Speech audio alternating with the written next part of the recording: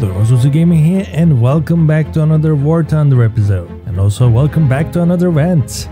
In this one, it will be A10 versus German World War II SPAAs. So first section of this event will contain three minigames. So every time A10 loses, the A10 amount will double. In this minigames, one round lasts only 10 minutes. A10's objective is destroy all SPAAs in 10 minutes. Before we start, don't forget to like and subscribe. Enjoy.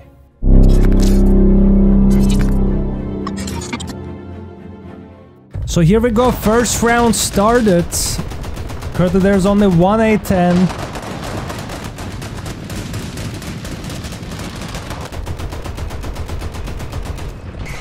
A10 goes for the dive. Fires its missiles, loses a wing.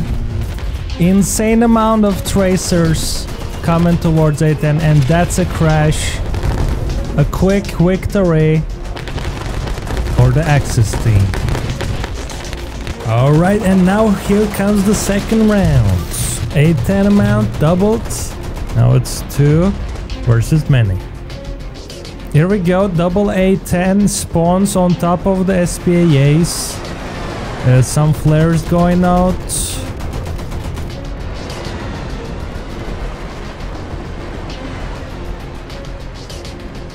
Looks like they're trying to put some distance. By the way, A10s have full loadout. A10s trying to evade the tracers, it's really hard. Some rockets flying from the A10. We have double destruction, two anti-airs destroyed and one of the A-10s getting critically damaged, uh, being disabled off the battle and second A-10 also getting wrecked, absolutely shredded, smokes coming out, flares, it looks like lost the control. And that is another victory for Axis team. In the third round, Naoya is facing Quad A10.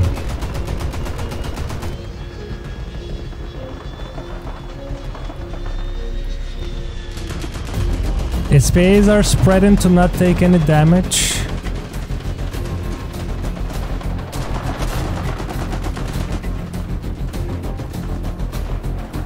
One of the AAs getting destroyed. Looks like this dive and runaway tactics are actually working. Currently there is three A-10s left. Axis team lost two of their SPAAs. Some bird action going on. Some rockets as well.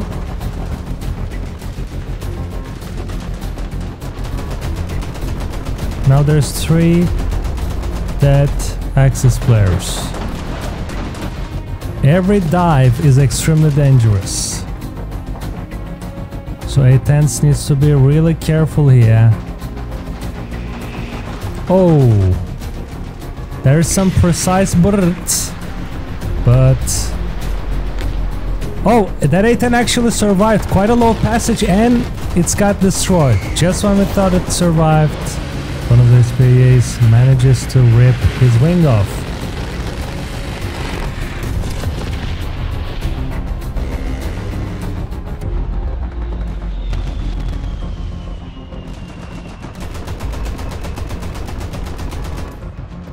And that's AGM looks like getting the kill. Now there's only two A10s left against 11 of them. Okay, this A10 is diving. Here we go.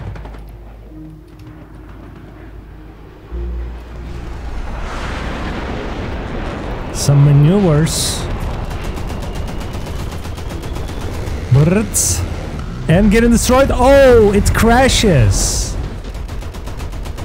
And the last A10 catches on fire. What a match. But let's not forget that the match was 10 minutes, guys. So A10 had to attack aggressively. Oh god. And that's another victory for anti-air team. A10 team manages to get 11 kills. Only 5 AAs survived. Alright, and that concludes the first phase. In all of the mini rounds, A10s have lost. So now there is only two phases left. Both of them are just regular rounds. So in this round there will be 6 A10s in total. This time no loadout, only Gatling gun. Let's see can 15 AAs win against 6 A10s. This time battle will be longer. Anti-airs will be on offensive side. They need to cap single objective to win the match. SPA is dragging attention by shooting at each other Spotting the tracers from far distance is really easy. A quite a big mistake. Looks like most of them going to the town to use the buildings as cover. Meanwhile, A10s are getting closer. Here's the circle that anti-airs needs to capture. If they're not gonna capture in time or die, A10 team will going to win. So here we go, first bird takes one of the AAs.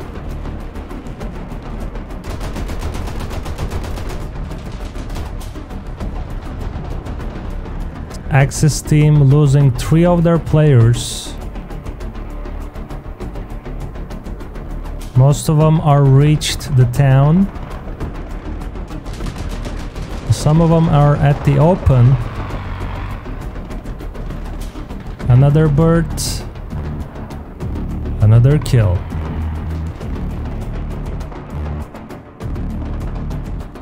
Looks like anti-air team having a really bad time because Still, all of the A10s are up. Axis team suffering heavy casualties.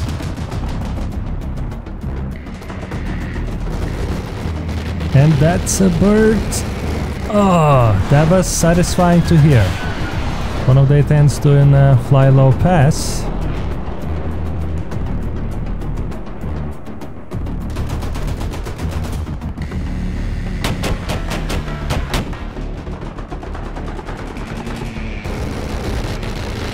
That's a focused bird into the corner. Poor Wirbelwind tried to hide but failed. Of course, what SPAs don't realize, firing drags attention. So every time they fire, they're given their position away and also position of their teammates around them.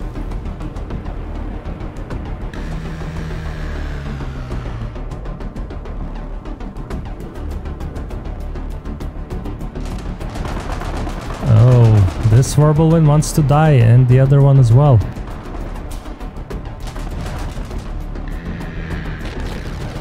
Oh, that's a bird. Wirbelwind eats the dust. Okay, and now we're gonna spectate the last anti-air player. He's not firing, he knows that if he's gonna fire, suddenly 6 A10s will dive on him. A10's kinda spooking him out. Oh! He's making a big mistake. He thought he can clip that A10 without being noticed, but unfortunately, that was his mistake. And that's a bird. Alright, and now, here's the last round. Same rule as the previous one, but this time it's Fulda map which is one of the most annoying maps in the game because how big it is, AA is gonna have to travel a long distance to cap the objective. So after realizing the mistake from the last round, anti-airs will not gonna fire. Most of the team spawned at the right side, so it's 4 versus 17.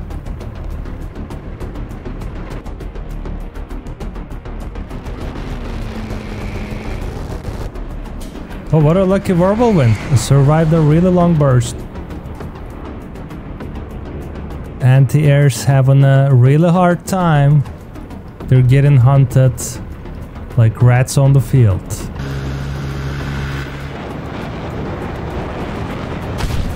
Oh! The A10 just got clipped. Oh, I think it got clipped one more time. It's critically damaged.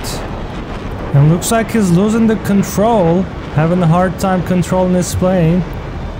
Barely turning. And that's a crash. Dives into the tree line. The first casualty, a quite unnecessary one. He just got randomly clipped. Here's the second. A direct nosedive. Fortunately, anti-air was aware of it and he took A10's wing off. That's a second casualty looks like.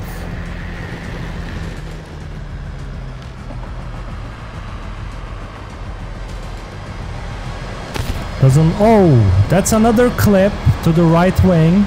It was already critically damaged. Uh, looks like it's slowly losing the control like previous one.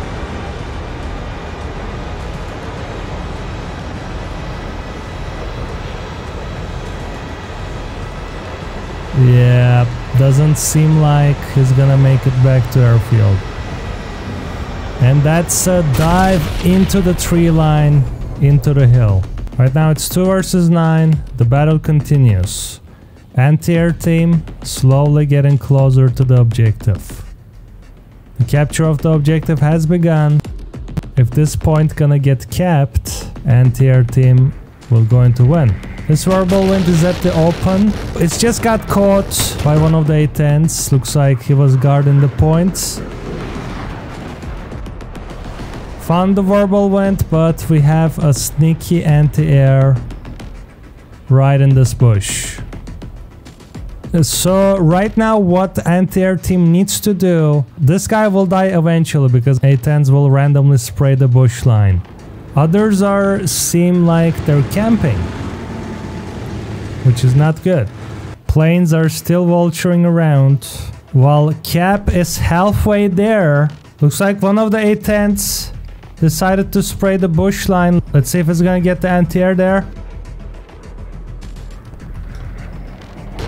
Bird starts to happen random spray. And that randomly gets the anti-air. Unfortunately, no one is around to take the cap back.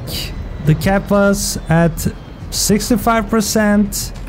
Now, team is losing it.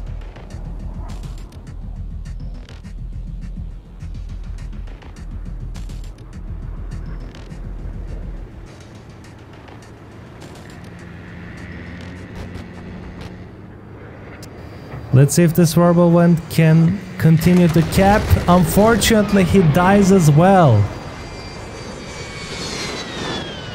How ridiculous it is. So close. Now all of the cap points are melting away. Let's see what others doing. Uh, not sure where this guy is. So here are the last two players. They're far away.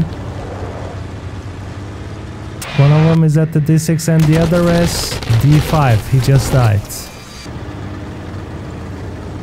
So this is the last player. He's not even close to the objective, so not sure what he was doing. A ridiculous amount of flank and unnecessary. I mean, at this point, it is obvious that Axis team lost but it could have been avoided if nobody spawned at the right side because right side terrain wise is worse there is lots of hills it takes a real long time to drive there